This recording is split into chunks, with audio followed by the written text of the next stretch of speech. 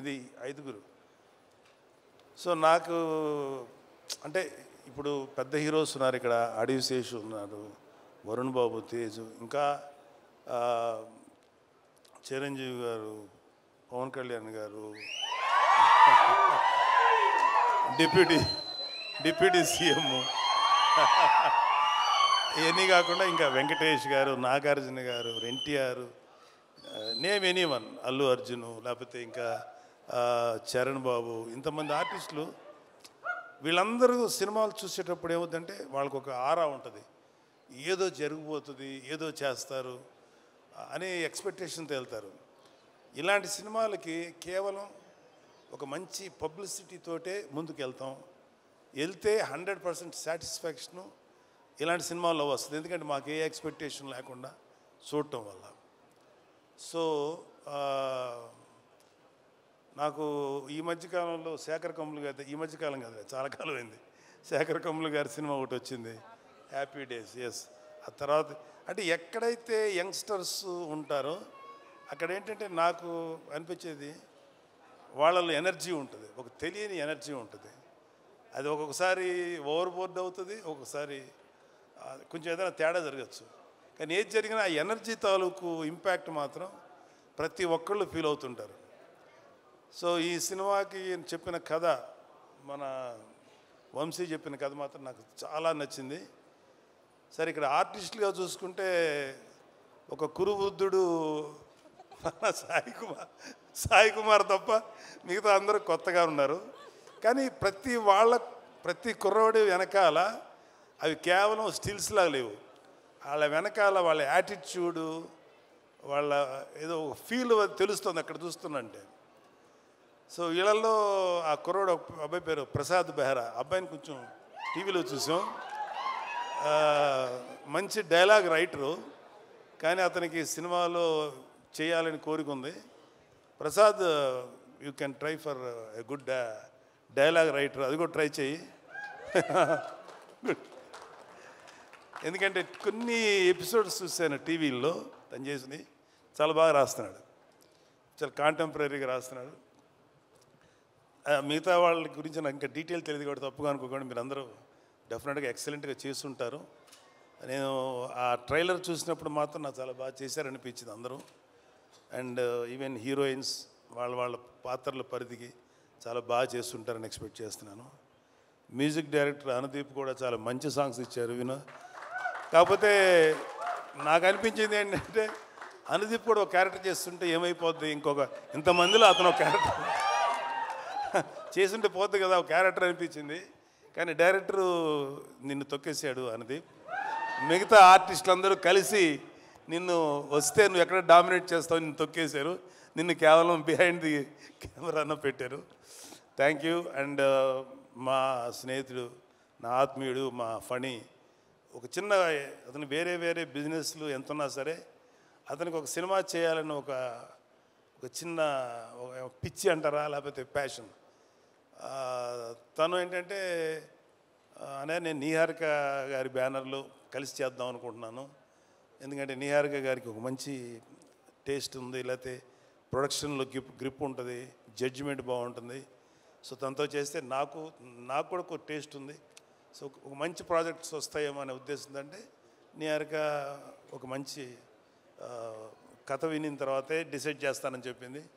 కథ వింది చక్కగా నాకు చెప్పి అంత ఓకే అయింది. I very thankful to all of you and ఈ సినిమా మాత్రం నాకెందుకో గట్ ఫీలింగు అంటే ఒక్- అంటే ఈ సినిమా బేసిక్ కథ గుర్తుంది నాకు. చాలా సీన్స్ గుర్తున్నాయి. మధ్యలో రెండు మూడు చోట్ల కొన్ని కొన్ని సీన్స్ వంశీ చెప్పినప్పుడు కొంచెం గొంతు చోక్ అయింది. అంటే కళ్ళనీళ్ళు రా రాక గొంతు అలా పట్టినట్టుగా చెప్ అంటే పట్టింది. అంత బాగా ఎమోషన్స్ డీల్ చేశాడు. ఇంకా సినిమా గురించి చాలా చెప్పి సినిమాని చెడగొట్టడం నాకు ఇష్టం లేదు. కాకపోతే ఈ సినిమాలో ఒక ఫినిషింగ్ టచ్ మాత్రం మీకు ఎక్కడో ఎవరినో ఒక ఒక ప్రముఖ నాయకుడిని చూసిన ఫీలింగ్ అయితే వస్తుంది. అతను అది ఇప్పుడు నాయకుడు కాదు ఎలక్షన్స్కి ముందు యుద్ధం చేసినటువంటి ఒక నాయకుడు మీకు గుర్తొస్తారు. అంతవరకు thank you and I'm very happy and I'm proud of my daughter course మా అబ్బాయిని చూసి కూడా గర్వపడుతున్నది వేరే సంగతి. మా అబ్బాయినే కాదు మా మేనలుడు ఇంక్లూడింగ్ అక్కడ అడవి ఉన్నాడు. అడివిశేషు కళ్యాణ్ అన్న కళ్యాణ్ బాబు గారిది పంజాలు యాక్ట్ చేసేది చేసినప్పుడు అడవి శేషు మీద కోపం వచ్చేంత విలన్ క్యారెక్టర్ చేశాడు. ఎవడరా బాబు ఇంత దుర్మార్గుల్లో ఉన్నాడు అనిపించింది కానీ అతని ఇంటెన్స్ యాక్టింగ్ చూసి అమ్మాయి ఆ కోపం వచ్చిందంటే అర్థం ఏంటి? అతను అంత ఇంటెన్సిటీ అనిపించింది. ఆ తర్వాత తర్వాత అతను హీరోగా మారి వండర్ఫుల్ ఫిలిమ్స్ చేశారు. ఒకటే చెప్తున్నాను ఇవాళ ఇంకొక చిన్న విషయం. Suma can I speak sir మాకు మాట్లాడితే మమ్మల్ని మెగా ఫ్యామిలీ వీళ్ళు తప్ప ఇంకెవరు ఉండరు అనేటువంటి ఒక అలా కొంతమంది ఫ్యామిలీస్ మీద ఈ పనికి మాలిన మాటలు మాట్లాడే ఎదవలు చాలామంది చూస్తారు. మాకు అలాంటి ఫీలింగ్ లేదు.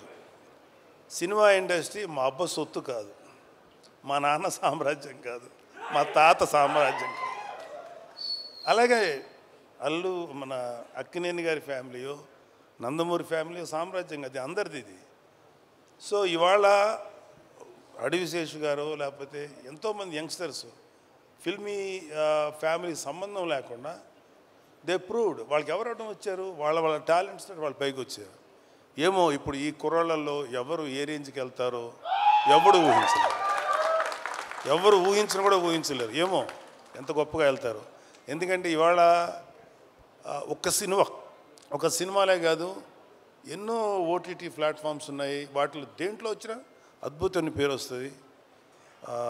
సో ప్రతి వాళ్ళు ఒక ఫస్ట్ ఏంటంటే ఒక మంచి కంటెంట్ ఉన్న సినిమాకి కథ ఉన్న సినిమాకి ట్రై చేయండి. అంతేగాని ఒక గుద్దు గుద్దితే ఆడెక్కడికో వెళ్ళిపోయి కొట్టేసుకొని మాట్లాడితే హీరోయిన్ కనపడగానే గబగబా డ్యాన్స్ చేసి ఇలాంటి కథలకు మాత్రం మీ యంగ్స్టర్స్ ఎవరు అట్రాక్ట్ అవ్వకండి. కంటెంట్ ఏంటో చూడండి. ఆ విషయంలో నాకు శేషు నచ్చుతాడు అండ్ వరుణ్ బాబు నచ్చుతాడు. ఈ మధ్యన మా తేజు నచ్చుతున్నాడు.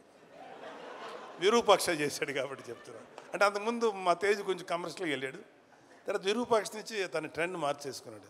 విరూపాక్ష అండ్ ఇంకొకటి ఏదో రిపబ్లిక్ ఇలాంటివి చేశాడు. సో ఒక వరుణ్కి నాకు ఒకసారి డిస్కషన్ వచ్చింది. ఎందుకురా నువ్వు కొంచెం కష్టమైన క్యారెక్టర్లు సెలెక్ట్ చేసుకుంటావు? చాలా కమర్షియల్ సినిమాలు చేయొచ్చు కదా అంటే నాన్న ఒక వంద సినిమాలు రిలీజ్ అనుకున్నాను అందులో ఒక పది సినిమాలు కొంచెం డిఫికల్ట్గా అంటే కొత్తదనంగా ఉండే ఉంటాయి. వాటిల్లో కనీసం ఒక ఐదు సినిమాలన్నా ఆడటానికి అవకాశం ఉంటుంది. తొంభై సినిమాలు రెగ్యులర్ కమర్షియల్ సినిమాలు ఉంటాయి. ఈ తొంభై సినిమాల్లో ఒక పదో పదిహేను ఆడతాయి. మరి ఎక్కువ ఆడుతున్నాయి కదా అన్న కానీ రేషియో చూసుకున్నాను తొంభైలో పదో ఏమో ఆడతాయి. ఇక్కడ పదిలో ఐదు ఆడతాయి కాబట్టి ఎప్పుడు కూడా ఒక కొత్తదనం కోసం వెళ్తేనే యాక్సెప్ట్ చేస్తారని చెప్పి అది నాకు చిన్నవాడైనా వాడిచ్చిన రియలైజేషన్. అలాగే నిహారిక. అంటే కొంచెం సెల్ఫీ కొంచెం సెల్ఫీ వేసుకోవాలి కదా నా పిల్లల గురించి. తప్పదు. ఎవరు సెల్ఫ్ వాళ్ళు వేసుకున్నారు? ఇక్కడ మన డబ్బా మనమే కొట్టుకోవాలి కదా. ఏదో గుర్తు రావక్కర్లేదు నేను సీరియస్గా అంటున్నా. Niharika my sweetest kid. ఎంత స్వీటెస్ట్ అంటే ఇలాంటి చిన్న పిల్లప్పుడు ఒక మూడేళ్ళు ఆ టైం ఉన్నప్పుడు ఇంకా స్టార్ట్ అవుతుంది కదా నాలుగేళ్ళ తర్వాత ఐదేళ్ళ తర్వాత అమ్మ ఇండిపెండెంట్గా పడుకోండి అంటే ఆ బెడ్రూమ్లోకి వెళ్ళి పడుకునేది పడుకున్నట్టు పడుకునేది వాళ్ళమ్మ వంటింటికి వెళ్ళాక సైలెంట్గా వచ్చి నేను ఇక్కడే పడుకుంటాను అనేది సరే అమ్మ మరి మీ అమ్మ తన్నేసి బయటకు పంపుతుంది కదా. అమ్మ చూడకుండా దాచిపెట్టేది అప్పుడు నా షర్ట్ తీస్తే షర్ట్ లోపల దాక్కునేది అప్పుడు ఇంత ఉండేది కదా ఇంతే ఉండేది. దాక్కొని పడుకొని పద్మ వచ్చేది ఎక్కడుందని ఏ దాని తెలుసు. పడుకుంది పద్మ లేదు పద్మ ఇక్కడ అని చెప్పాడు. ఇలాగేదో సో సో ఒకటే చెప్తున్నాను. ఇప్పుడు ఇందాక ఒక పాప ఎవరో ఎమోషనల్ అయ్యింది. ఇవాళ మన కళ్ళ ముందు ఆడపిల్లలు ఎంత గ్రోత్ చూపిస్తారు ఎంత గొప్పగా ఎదుగుతారనేది మన సుమ. నాకు తెలిసినంత వరకు సుమ కామెడీగా మాట్లాడుతుంది సరదాగా ఉంటుంది కాబట్టి నేను ఎప్పుడు సుమాని కామెడీగా తీసుకోను. ఎందుకంటే నాకు తెలిసి ఈ రోజు కాకపోయినా ఇంకొక వన్ ఇయర్ తర్వాత టూ ఇయర్స్ తర్వాత అయినా డెఫినెట్గా సుమా ఒక legendary anchor legendary host. Suma చాలా గ్లామరస్గా స్టైలిష్గా ఉండదు. సుమ ఎక్కువ ఏమన్నా కానీ సుమ స్టేజ్ ఎక్కిందంటే దుమ్ము దులిపేస్తుంది. నేను చూసింది తా సుమ ఉందా? పర్లేదు కొంచెంసేపు మనకి టైం పాస్ అవుతుంది అని. అలా ఉంది. సుమ జబర్దస్త్ వాళ్ళ అదృష్టం ఏంటంటే అప్పటికి జబర్దస్త్ వాళ్ళు రాకముందు సుమ ఇండస్ట్రీకి వచ్చింది. సుమ జబర్దస్త్కి రాకుండా చాలామందిని కాపాడింది. అంత గొప్ప అంటే ఆడవాళ్ళలో అంత కామెడీ ఉంటుంది అనేది నాకు కూడా అందలేదు. సుమాన్ చూసిన తర్వాత అమ్మ తక్కువ వాళ్ళు కాదురా బాబు. అలాగా ఆడపిల్లలందరూ కూడా జస్ట్ బ్రేక్ యువర్ చైన్స్. ఎవడు కూడా మిమ్మల్ని ఆపడానికి ట్రై చేస్తే మాత్రం మీరు ఆకండి prove yourself the world is yours ఈ ప్రపంచం మగవాళ్ళది ఒక్కడిదే కాదు ఆడపిల్లలది కూడా. మీది కూడా. అలాగే ఆడపిల్లలు కూడా ఒకటి గుర్తుపెట్టుకోవాల్సింది ఏంటంటే లిమిటెడ్ థింకింగ్లో ఉండకండి. అమ్మో వాడికి వెళ్తే ఆయన ఏమంటారు? లేదు సార్ ఎవడి కోసం ఎవడు భయపడక్కర్లా? ఇవాళ your all in safe hands. ఇవాళ అటు తెలంగాణలో కానీ ఆంధ్రాలో కానీ ఆడపిల్లలకి అద్భుతమైన సేఫ్టీ ఉంది. ఎవడైనా ఆడపిల్లల్ని కానీ ఏదైనా చేస్తే మా దృష్టికి వస్తే మడత పెట్టి లోపల పెడతాం. తాట తీస్తాం